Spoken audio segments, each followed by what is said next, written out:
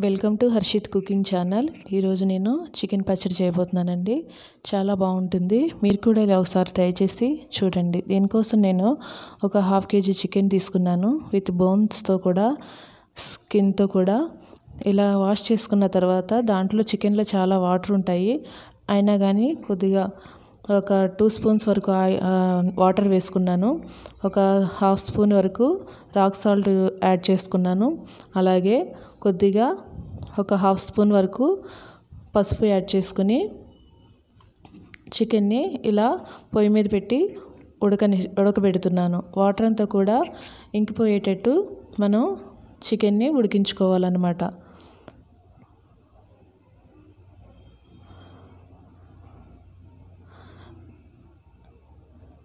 చూడండి వాటర్ ఎలా వచ్చేస్తున్నాయో. ఆ వాటర్ అంతా కూడా ఇంకిపోయేటట్టు చికెన్ని ఉడికించుకోవాలి. ఆ వాటర్ అంతా తీసేస్తే చికెన్ టేస్టీగా ఉండదని నేను వాటర్ అంతా ఇంకిపోయేటట్టు చూసుకుంటున్నాను. ఇంకేమైనా వాటర్ ఉంటే జల్లెడ లాంటిది ఉంటుంది కదా దాంట్లో వేసేసుకుని వాటర్ తీసేసుకోవచ్చు. దీనికోసం నేను ఒక కళాయి పెట్టుకుని దాంట్లో ఒక స్పూన్ వరకు ధనియాలు ఒక స్పూన్ వరకు జీలకర్ర వేసి వేయించుకుంటున్నా.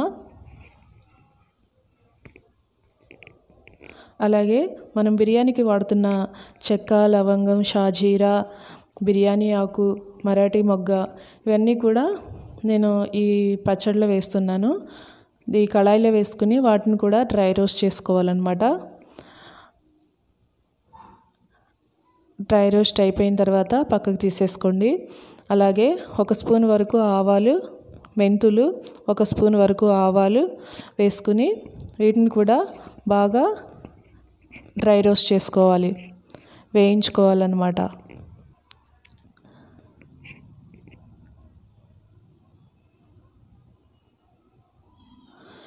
వేయించుకున్న తర్వాత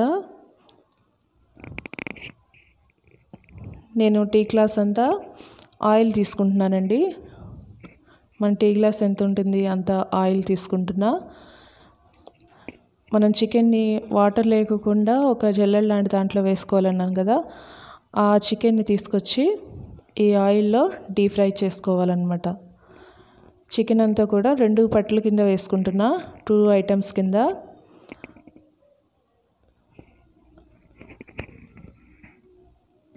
గోల్డెన్ బ్రౌన్ కలర్ వచ్చే వరకు కూడా చికెన్ని ఫ్రై చేసుకుంటూ ఉండాలి. అంటే ఎక్కడ కూడా వాటర్ తగలకూడదు. మీరు అది గుర్తుపెట్టుకోండి. డ్రై రోస్ట్ అయిపోయింది. చూడండి బ్రౌన్ కలర్లో వచ్చేసింది. ఇట్లన్నిటిని తీసేసుకుని మిగతా చికెన్ ఉంది కదా దాన్ని కూడా వేసేసుకుని మనం ఫ్రై చేసేసుకోవాలి.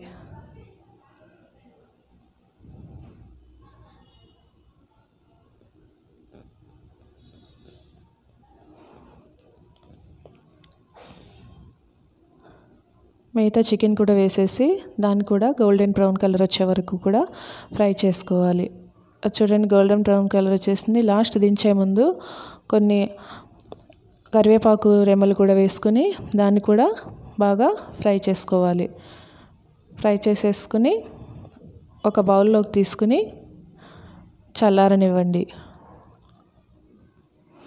అదే స్పాన్లో టూ స్పూన్స్ వరకు అల్లం వెల్లుల్లి పేస్ట్ వేసుకుని అది కూడా పచ్చివాసన పోయి పోయేంత వరకు కూడా అల్లం వెల్లుల్లి పేస్ట్ని ఫ్రై చేసుకుంటూ ఉండాలి.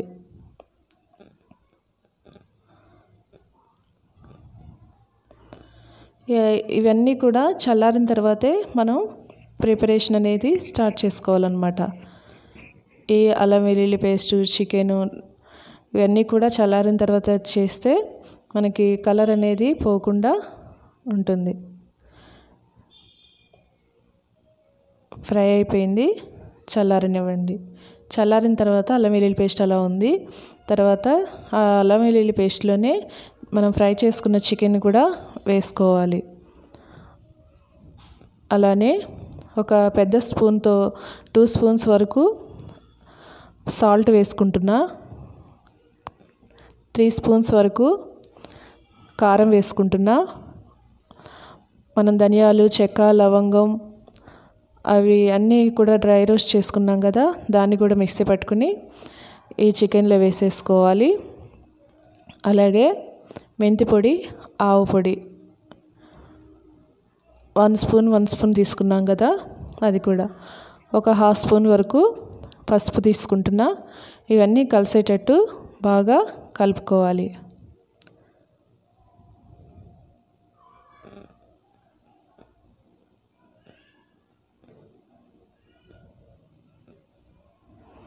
బాగా కలుపుకున్న తర్వాత నేను త్రీ లెమన్ ఒక మూడు నిమ్మకాయలు తీసుకున్నానండి. వాటిని కట్ చేసి దాంట్లో ఉన్న సీడ్స్ అన్నీ కూడా తీసేసి వడకట్టుకుని ఆ లెమన్ని కూడా ఈ చికెన్లో వేసుకోవాలి.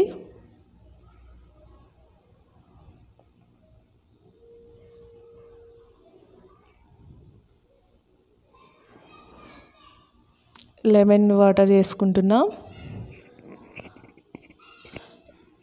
ఇవన్నీ కూడా ఈ చికెన్కి బాగా పట్టేటట్టు కలుపుకొని మనం ఈరోజు నైట్ చేస్తే ఒక ట్వంటీ ఫోర్ అవర్స్ దాన్ని కదపకుండా అలా ఉంచేసిన తర్వాత తర్వాత నెక్స్ట్ డే నుంచి తింటే ఎంతో టేస్టీ అయిన చికెన్ పికిల్ రెడీ అయిపోయింది.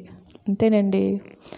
నా ఛానల్ని ఇప్పుడే చూస్తున్నట్టయితే లైక్ చేయండి షేర్ చేయండి. మీ ఫ్రెండ్స్ అండ్ ఫ్యామిలీ మెంబర్స్కి షేర్ చేయండి. సబ్స్క్రైబ్ చేసుకోవడం మాత్రం మర్చిపోకండి.